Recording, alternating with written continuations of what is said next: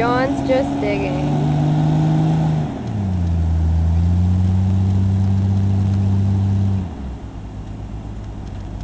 Somebody do something!